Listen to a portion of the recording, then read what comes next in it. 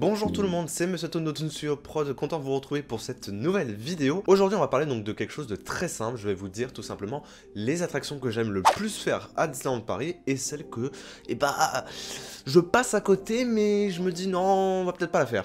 donc voilà, je me suis dit que ça serait assez intéressant finalement de vous dire en fait les attractions que j'ai l'habitude de faire en priorité, c'est-à-dire que c'est vraiment mes best, c'est vraiment les attractions que je dois faire tout le temps en, en allant à Disneyland Paris, donc c'est clairement mes attractions préférées. Et les attractions bah... non, ça me tente pas, j'ai jamais eu cette sensation de magie ou de trucs comme ça, c'est-à-dire que je les aime tout simplement pas, ou je n'ai pas vraiment d'attirance pour cette attraction, tu vois. Donc écoutez, euh, commençons-nous par le bien ou le mal? Je ne sais pas, on peut commencer bien, par les attractions que j'aime le plus faire, je pense qu'on peut commencer déjà par quelque chose d'assez joyeux et puis terminer sur une fin minable. Eh bien, c'est parti. Première attraction, euh, je dirais, qui est dans le classement euh, des attractions que je préfère le plus à faire à Disneyland Paris, tout premièrement, c'est Big Thunder Mountain. Ah bah oui, parce que je pense qu'il y en avait beaucoup qui pensaient que c'était la Tour de la Terreur. Alors en tout cas dans le parc Disneyland, c'est Big Thunder Mountain parce que j'aime beaucoup faire déjà cette attraction là, je trouve que c'est l'attraction qui à plusieurs est vraiment la meilleure, très clairement. Euh, quand j'ai souvent, très souvent même j'ai fait l'attraction à plusieurs et, c'est vraiment une superbe expérience. À chaque fois, on se tape vraiment tout le temps des barres, c'est super drôle. Enfin bref, et hum, c'est vraiment le fait que c'est aussi l'attraction la plus, on va dire, gigantesque, la plus impressionnante, parce que c'est le meilleur clairement train de la mine du monde, moi je trouve, parce qu'on a, on a vraiment des décors assez époustouflants, on est entouré d'eau seulement, donc on a encore plus cette sensation de, bah, de vitesse et de, et de on va dire de pas de contrôle du train en fait c'est ça? C'est je sais pas comment vous expliquer mais c'est assez inédit je trouve comme, euh, comme expérience. Alors oui à la fois c'est mon attraction préférée mais à la fois euh, ça en devient vite mon attraction que je déteste le plus. Pourquoi? Parce que la file d'attente je la trouve abominable. Mais, mais, mais juste abominable. Parce que les files d'attente où tu fais des zigzags sans cesse euh, et qui fait chaud et que non c'est pas possible. Cette file d'attente par contre dans Big Thunder Mountain est insupportable. Je vous le dis très clairement c'est ça qui moi euh, me pousse des fois à ne pas la faire. C'est vraiment la file qui est abominable. Le problème c'est que c'est pas forcément bien adapté pour le temps parce que quand, quand vous êtes en été il n'y a pas de clim et du coup vous tapez de la chaleur pendant toute la file. Et quand on est en hiver et bah vous avez froid parce que ça fait complètement un courant d'air. En soi voilà ça reste quand même mon attraction préférée parce que vraiment le décor est super l'attraction est, rapide, elle est cool, il y a des descentes, il y a des montées, c'est vraiment la montagne russe comme on les aime, et c'est pour ça que je la classe euh, en tout premier lieu. En deuxième attraction que je préfère le plus, je dirais que ça sera la Tour de la Terreur, parce que franchement, euh, on peut pas passer à côté. La Tour de la Terreur, c'est vraiment un classique des parcs Disney pour moi. Euh, la storyline est magnifique, la tour en elle-même est magnifique, et c'est ce qui m'a presque donné pour la première fois envie d'être fan, parce que comme je l'avais dit, j'avais découvert cette attraction-là grâce à le journal de Et c'est comme ça que j'ai commencé, ah pardon, j'ai tapé sur le micro, c'est comme ça que j'ai commencé en fait à m'intéresser à Disney, et vraiment le parc Disney a vraiment m'y intéresser de, très très très près, et c'est ça qui m'a donné vraiment envie d'être fan en fait, c'est cette tour de la terreur qui est vraiment magnifique, qui a, une, qui a une histoire, qui a toute une atmosphère assez incroyable, je ne saurais pas vous dire, mais c'est pour ça que qu'elle disparaisse, ça va être un énorme coup de choc quand même pour moi, si ça devrait arriver dans les, dans les mois, voire quelques années à venir ça va faire un énorme coup de choc parce que franchement c'est mon attraction préférée clairement. En troisième position, euh, j'ai beaucoup hésité entre Space Mountain et Rock'n'Roller Coaster. Malheureusement je mettrais Space Mountain. Même si c'est vrai que je suis un peu hésitant même encore dans la décision parce que Space Mountain à la fois c'est vraiment cool comme attraction mais à la fois euh, il y a des choses qui vont pas. Puisque finalement moi ce qui me dérange vraiment dans Space Mountain c'est plutôt le circuit qui est beaucoup trop compressé qui des fois est un peu trop brise-nuque aussi. Euh, par contre, les décors, il n'y a rien à dire, c'est vraiment beau, c'est immersif, et l'architecture de l'attraction, n'y a rien à dire, c'est vraiment magnifique. Moi qui est fan de steampunk, d'univers un peu victorien, rétro-futuriste, c'est complètement ce que j'adore. Donc vraiment, je pouvais pas euh, ne pas me dire que c'est carrément mieux que Rock, même si je sais que Rock, c'est quand même vraiment une attraction aussi que j'apprécie énormément. Je pense que je la mettrai juste derrière parce que franchement, euh, il n'y a pas tout ce décor, il n'y a pas tout ce travail qui a été fait. Surtout notre version française, elle est bien, mais elle reste encore quand même assez floue au niveau de la storyline, parce que bon, des soundtrackers qui vont à la vitesse de la musique, bon, c'est pas très clair, t'as l'impression de je sais pas, qu'ils ont pris de la LSD avant de faire le scénario, parce que franchement, je n'arrive toujours pas à comprendre, même en 2018, la, storyline de l'attraction, je ne comprends pas, des soundtrackers, c'est encore très flou, quoi.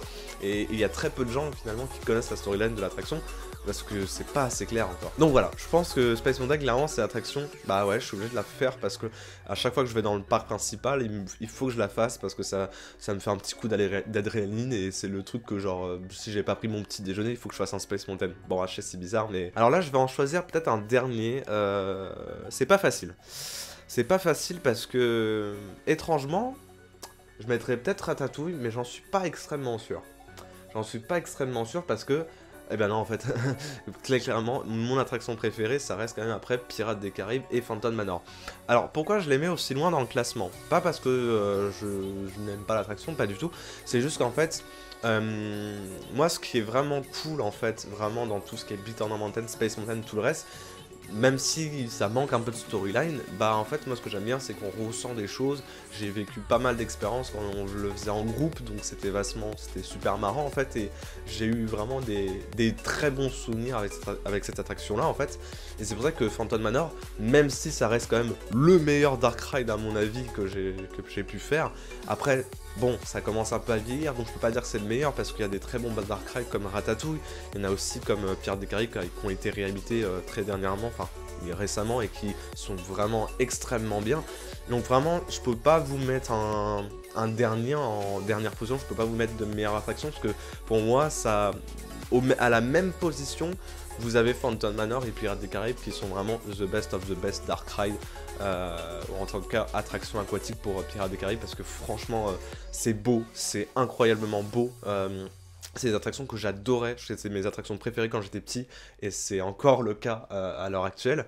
Et parce que voilà, on ressent, une atmosphère quand on est dans une attraction, on se sent complètement dépisé, on a même presque l'impression d'être dans un parc d'attraction. C'est bien travaillé, c'est soigné, enfin franchement, il n'y a rien à dire, ça c'est vraiment des attractions incontournables à faire dans le parc. C'est dommage parce que finalement les attractions comme Fountain Manor et tout le reste, euh, les visiteurs quand ils viennent, ils ils se rendent pas compte de tout ce qui a été, été travaillé derrière. Donc euh, je pense que cette réhabilitation par exemple qui, a, qui est actuellement en train d'être fait à Disneyland Paris va faire quand même un énorme bien à ce genre d'attraction là puisque la storyline n'est pas assez claire pour les visiteurs donc c'est dommage parce que les gens euh, généralement quand on sort de l'attraction ce qu'ils disent c'est que ça fait pas peur donc c'est qu'ils ont c'est que déjà quand vous entendez ça c'est qu'ils n'ont rien compris au concept même de l'attraction c'est dommage euh, ben, voilà en tout cas moi je mets ces deux attractions là en position parce que c'est best of the best. Maintenant, on va passer du coup euh, aux attractions que j'aime pas trop.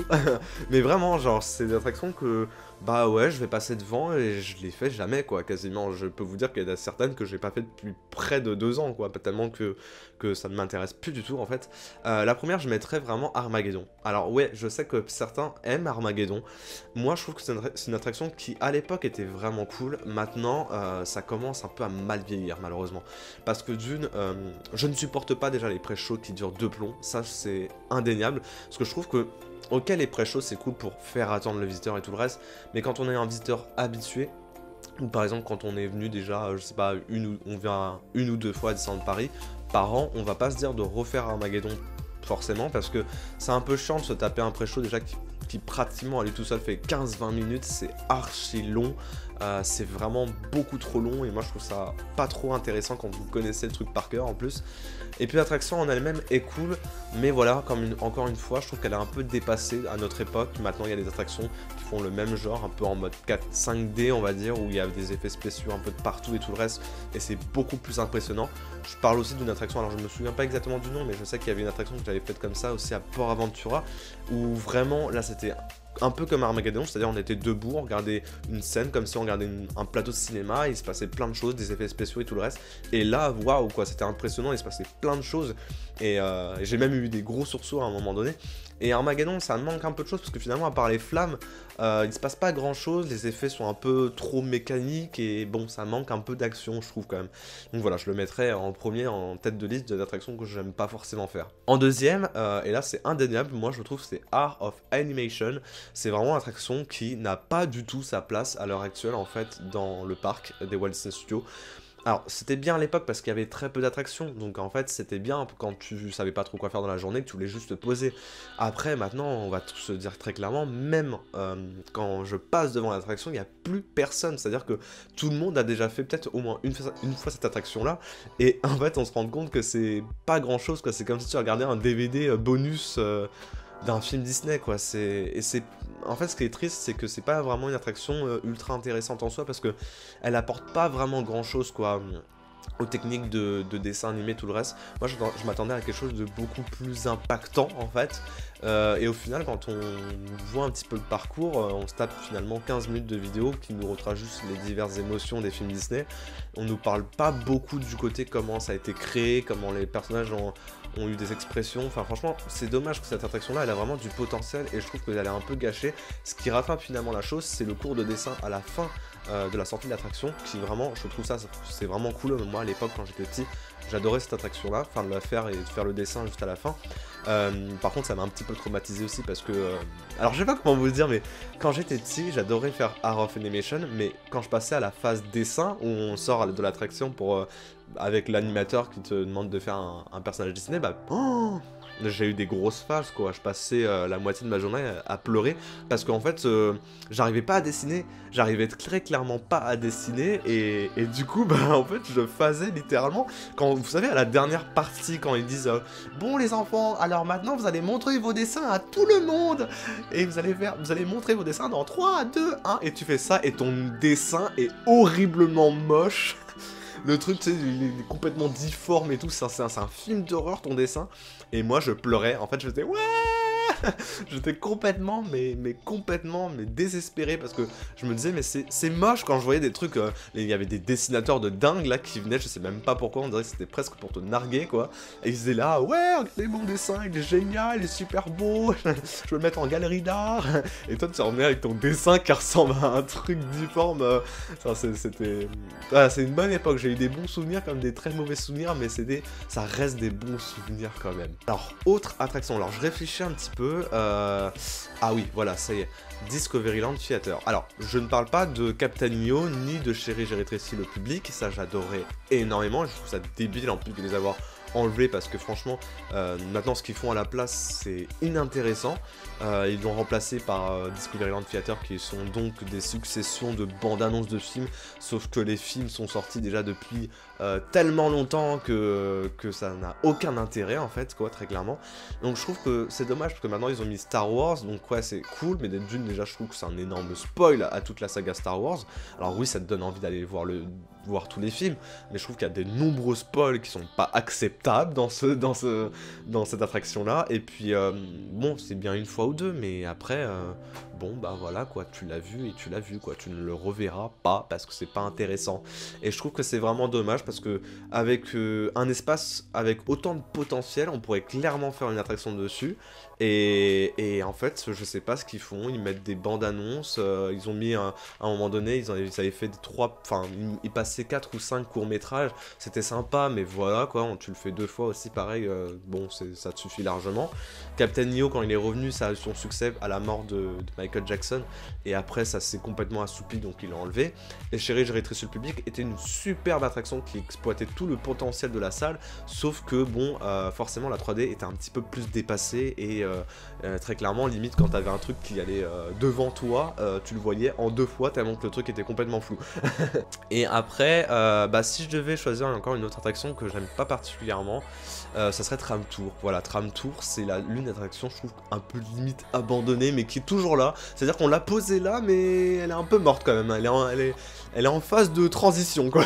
Parce que c'est l'attraction où tu rentres dedans et t'as pratiquement, mais sans mentir, t'as pratiquement 7 à 8 minutes où tu vas découvrir les bois de Marne-la-Vallée. Il n'y a rien à voir. Tu vois des arbres pendant 7 minutes. Il n'y a rien. Et, quand tu vois les scènes, par exemple, du canyon et tout le reste, bon, la scène du canyon, elle a pas, euh, elle est, ça va. Mais mon dieu, je sais pas, faites un dépoussiérage parce que déjà tu vois l'énorme trace euh, des flammes qui, a cramé complètement le décor. Tu vois euh, qu'il y a de la crasse et tout à cause de l'eau. Euh, franchement, non, ça fait pas super propre. Et puis bon, la scène du dragon, elle marche une fois sur 4000 c'est quand même dommage quoi parce que à l'époque c'était une bonne c'était vraiment une bonne attraction parce qu'on passait directement dans les coulisses euh, du customing euh, customing je crois. Non du bah vous voyez le, service de vêtements quoi de Disneyland Paris je dirais pas que c'est une mauvaise attraction mais en soi c'est juste qu'avec le temps euh, je pense qu'elle va, elle va être vouée à disparaître parce qu'ils s'arrêtent pas de la réduire petit à petit c'est comme si limite on te mettait des coups de couteau alors que t'es déjà en fin de vie quoi. Alors en dernière aussi Euh, je pense à une petite... Alors, on va terminer cette vidéo sur une dernière, mais attendez. J'ai pas spécialement de dernière après ça d'attraction qui vraiment euh, me déplaît quoi. Enfin, à part ça, non, je pense que... Là, j'ai fait un tour un petit peu... Euh, ouais, non, moi je pense que c'est bon. Voilà, bah dites-moi ce que vous en pensez en tout cas dans les commentaires. Moi j'aimerais bien avoir vos avis aussi, hein, parce que j'aimerais bien savoir un petit peu vos habitudes quand vous allez sur le parc. Qu'est-ce que vous aimez absolument faire et qu'est-ce que vous voulez vraiment pas faire.